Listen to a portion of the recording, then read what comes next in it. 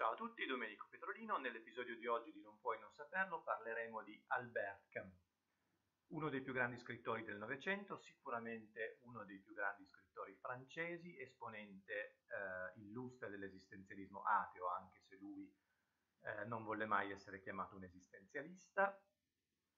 Partecipò alla resistenza francese, quindi anche un, eh, un intellettuale impegnato, premio Nobel per la letteratura, nonostante sia, molto, sia morto molto giovane, quindi sicuramente un personaggio interessantissimo, sapevo poco o niente di questo scrittore, quindi ho deciso di informarmi e come al solito condividere con voi quanto scoperto. Bene, andiamo avanti, nasce a Mondovio Mondovì, eh, non la cittadina piemontese, ma una ehm, cittadina nell'estremo nord-est dell'Algeria nel 1913 e muore nel 60 a soli 47 anni a Villeblevin in Francia. Di famiglia molto povera, il padre morì eh, un anno dopo la sua nascita nel 1914 nella prima battaglia della Marna. E lui con la madre e la nonna, nonna figura importantissima nella sua educazione, si trasferisce ad Algeri è uno studente molto dotato e viene, e, e viene incoraggiato a continuare eh, gli studi dal suo professore di filosofia, che in seguito diventerà suo grande amico, Jean Grenier. Lo fa, quindi continua gli studi dopo il liceo e eh, vince una borsa di studio per entrare nella facoltà di filosofia dell'Università di Algeri. Ahimè, per le sue condizioni di salute, quindi si ammala di tubercolosi a soli 17 anni, malattia che allora era considerata incurabile, quindi per le sue condizioni di salute appunto dovette rinunciare a frequentare i corsi e oltre a questo rinunciare al, al teatro comunque fu, fu, molto difficile per lui eh, seguire la sua passione per il teatro e anche la sua altra grande passione, il. Si laurea comunque da privatista nel 1936 a soli 23 anni con una tesi su Plotino e Sant'Agostino.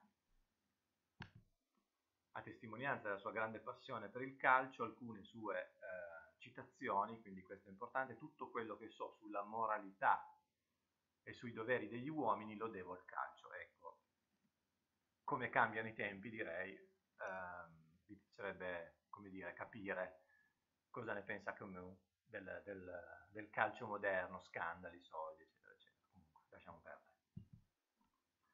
Bene, nel 1933 aderisce al movimento antifascista Amsterdam Playet e un anno dopo si iscrive anche al Partito Comunista francese, anche se mantiene sempre un atteggiamento molto critico sia verso il partito sia verso le teorie marxiste. Fu infatti spesso oggetto, per questa sua posizione critica, fu spesso oggetto di attacchi da parte dei colleghi di partito e anche colleghi scrittori e finì col distaccarsi dal partito nel 1937.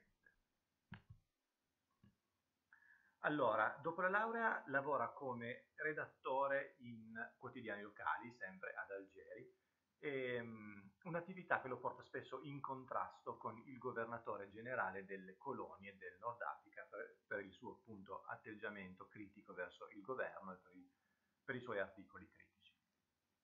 Proprio a causa di uno di questi articoli viene licenziato, ehm, come dire, su pressione del governo eh, e governo stesso che si adopererà per eh, far sì che lui non trovi più un posto come eh, giornalista in Algeria. Questa situazione stringe quindi all'emigrazione, si eh, sposta a Parigi nel 40, eh, quindi a 27 anni, e ehm, diventa segretario di, di, relazione del giornale Paris Soir, grazie all'aiuto del fondatore del giornale Pascal Pia, uno scrittore eh, e giornalista francese che gli rimarrà sempre amico e al quale Camus dedicherà eh, il libro Il mito di Sisifo. Siamo nel 40, quindi siamo negli anni dell'occupazione nazista e eh, Camus vi si opporrà in, in ogni modo lui possibile, quindi prima osservatore e poi come attivista, considerando questa occupazione eh, inaccettabile e ingiusta. Osservatore attivista quindi eh, si affilia alla cellula partigiana Combat, eh, Combat e mh, questi avevano anche un, uh, un, giornale che circolava clandestinamente e lui appunto, oltre a partecipare alla cellula come attivista, curerà anche molti articoli. Eh, giornale nel quale coinvolse appunto anche eh, Sartre.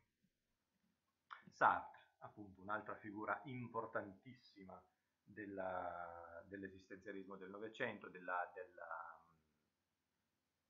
panorama culturale, del, della scrittura, eccetera, eccetera, quindi aspettatevi presto un, un episodio su Sartre. Comunque, eh, esce in questo periodo, quindi nel 1942, il suo primo, il suo primo romanzo, Lo straniero.